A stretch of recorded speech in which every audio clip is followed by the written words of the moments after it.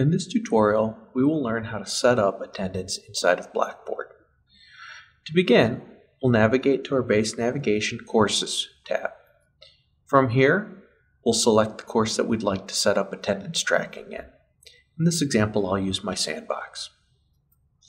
Once the course opens, in the menu bar on the left-hand side, you'll scroll down into the area that says Course Management. From there, you'll look for Course Tools. You may need to expand or collapse Course Tools. Inside Course Tools, you're searching for the third item down which says Attendance. We'll go ahead and select Attendance. Once attendance loads, we'll see that we have some instructions at the top. The instructions tell us that we can record whether students are present, late, absent, or excused, and that we can apply formulas and this information to our gradebook. We'll look at that in a moment. The next thing that we see is that this attendance allows us to view the overall attendance for the entire course or the actual just individual meeting session. We're going to assume that we're looking at an individual meeting session, and this is posted as today. Right now, you can see that I have absent selected. I can also mark myself present or late, which gives me 50%. Absent is set to zero, or you can mark a student as excused.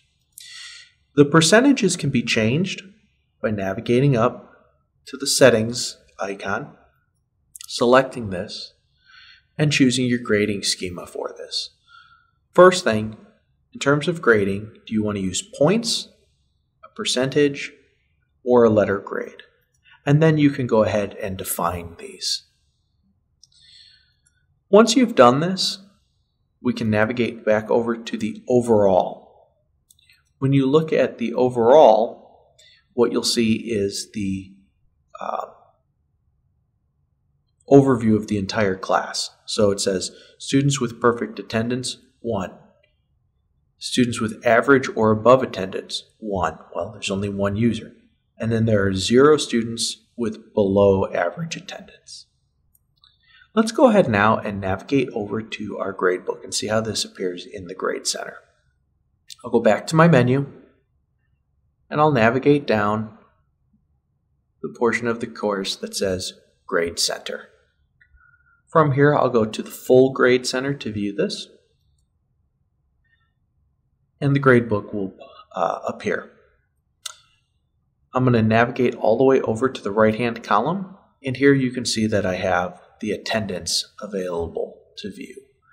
So basically, attendance has added a column inside the gradebook. We can also view the details on this if we need to. And if we need to change or exempt this, we can uh, modify this grade just like we would for any other assignment.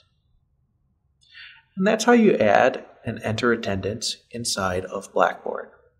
I hope that you found this tutorial useful. For more information, please visit us at the Faculty Center for the Advancement of Teaching and Learning, and please subscribe to our Faculty Center YouTube channel.